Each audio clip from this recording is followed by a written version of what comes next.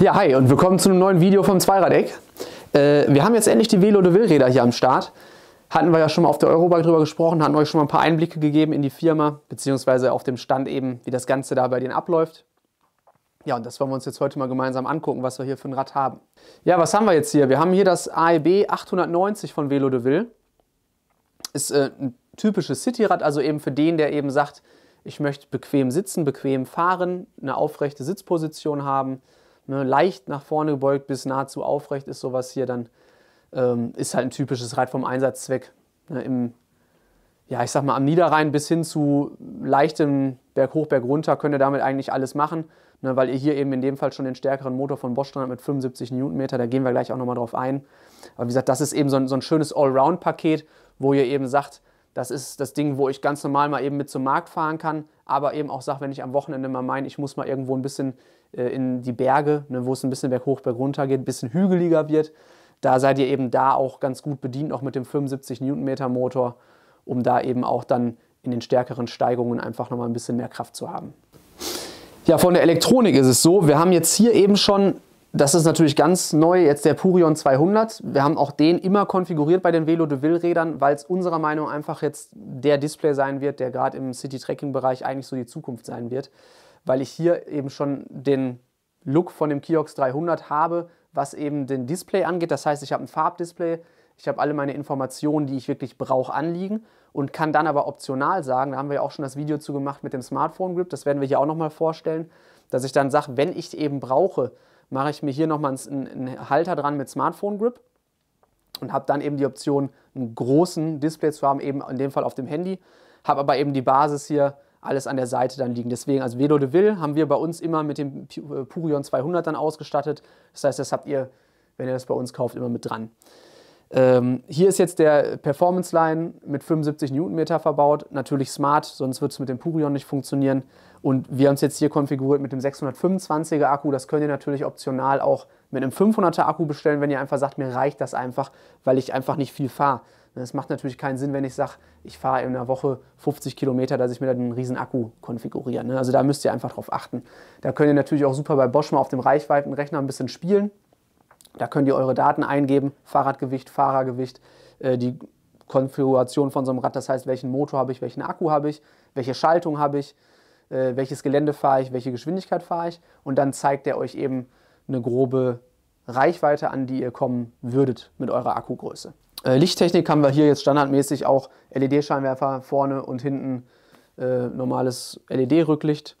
Äh, ihr könnt da natürlich auch wieder upgraden, wenn ihr jetzt sagt, ich fahre einfach super viel im Dunkeln, weil ich vielleicht aus der Nachtschicht komme oder wie auch immer, ne, dass ihr dann da einfach sagen könnt, okay, ich baue mir da oder lass mir da dann direkt den helleren Scheinwerfer dran bauen oder durch Velo Level upgraden. Ja, wir haben uns jetzt hier bewusst dagegen entschieden, ein Rahmenschloss zu verbauen, weil wir eigentlich davon überzeugt sind zu sagen, einmal ein ordentliches Schloss und das reicht und dann ist das Rahmenschloss einfach ja, 6, 7, 800 Gramm zusätzliches Gewicht, was man sich eigentlich sparen kann und es kostet halt einfach wieder 30, 40 Euro mehr, die man da eigentlich teils nicht braucht. Bedeutet eben bei Velo de Ville meistens bei uns konfiguriert ohne das Rahmenschloss, Gewichtsthema und Preisthema. Äh, und empfehlen würden wir dann halt immer ein Fallschloss oder eben eine stabile Kette. Vom Gepäckträger her ist es so, wir haben ja jetzt hier auch schon den besseren Gepäckträger mit den, mit den Anschraubpunkten für Packtaschen. Äh, und dann haben wir hier eben das, das Rücklicht schon so Teil integriert. Und der Riesenvorteil ist eben hier, dass wenn ihr jetzt zum Beispiel eine Tasche habt, die mit einem Mixsystem ist, ihr euch dann direkt den Gepäckträgerhalter passend dazu konfigurieren könnt. Das heißt, da geht dann eben Mic, Ragtime etc.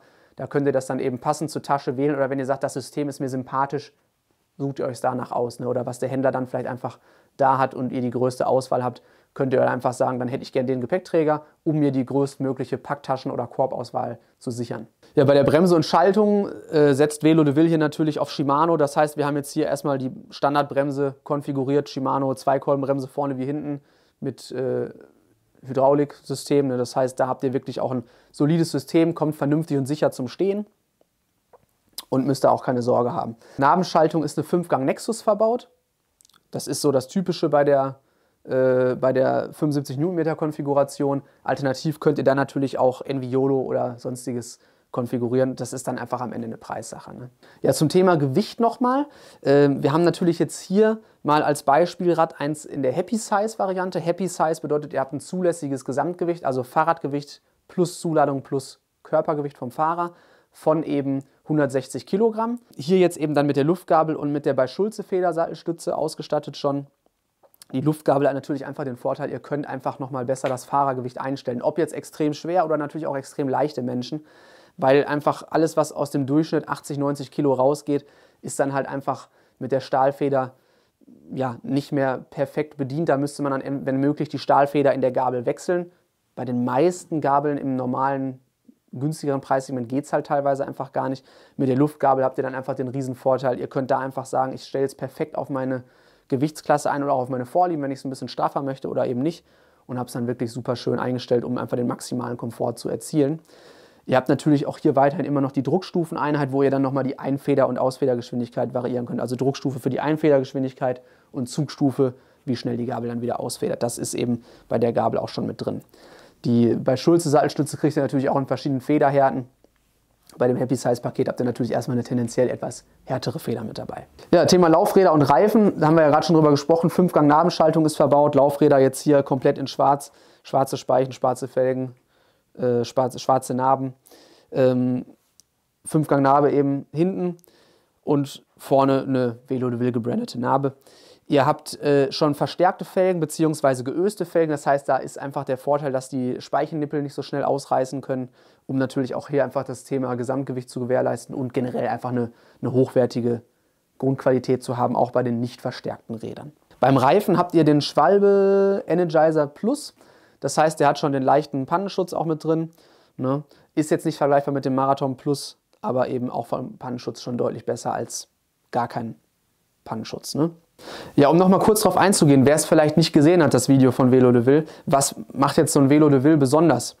Ihr habt halt hier die Möglichkeit, ich habe es ja gerade zwischendrin auch schon immer gesagt, ihr könnt wirklich vom Griff bis zur Schaltung alles konfigurieren. Ihr könnt das Rad in 32 verschiedenen Farben auswählen. Ich blende euch dann nachher auch mal kurz äh, die ganzen Farbvarianten äh, ein, die Velo de Ville da eben zur Verfügung stellt.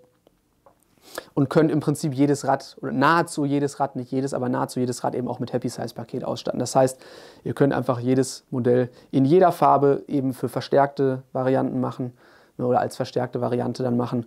Oder eben natürlich auch sagen, ähm, ne, ich möchte es in matt, ich möchte es in glänzend, ich möchte ne, den Schriftzug in Silber. Also ihr seid da wirklich so extrem breit aufgestellt, was die Konfiguration angeht. Das ist auf jeden Fall für die Leute interessant, die einfach sagen, ich habe einfach schon mal eine gewisse Grundvorstellung und möchte vielleicht einfach mal mir was gönnen, was Besonderes haben. Und da seid ihr bei Velo de Ville und bei uns dann auf jeden Fall auf der richtigen Seite. Ja, nochmal zum Thema Akku und Akkuladen. Geladen wird der Akku hier, das heißt, ihr könnt einfach diesen kleinen Pinöppel zur Seite machen. Es macht natürlich Sinn, den Akku so gut es geht leer zu fahren. 20 bis 80 Prozent ist dieser Wohlfühlbereich. Daran kann man sich immer ganz gut orientieren. Und wie gesagt, hier könnt ihr dann logischerweise direkt aufladen.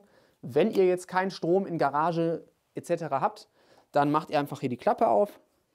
Ne, da müsst ihr einfach den Knopf nach unten drücken und dann, also eindrücken und dann runterschieben. Dann könnt ihr die Klappe aufmachen. Das Schloss ist in dem Fall auf der anderen Seite. Ich gehe mal eben rum. Könnt ihr dann einmal aufschließen, dann klickt ihr so ein Stück raus und dann nehmt ihr den einfach raus, den Akku. Das Schöne ist, da hat Velo de Ville auch mal mitgedacht. Ne, ich habe hier so einen kleinen Tragegriff, den muss man sich natürlich einmal richtig einstellen, dass der schön ausgelotet ist. Aber das ist nochmal so eine Option, so ein, so ein kleines Gimmick, was zum Beispiel dann auch wieder so ein Velo de Villrad ausmacht, ne? dass da halt einer mal mitdenkt ne? und so Kleinigkeiten einfach mitgemacht werden. Ne? Zum Einsetzen dann wieder ganz normal rein, das Rad wieder aufschließen, dann klackt er nach unten ein und dann hört man schon, wie der Akku einrastet und dann seid ihr startklar für die nächste Tour.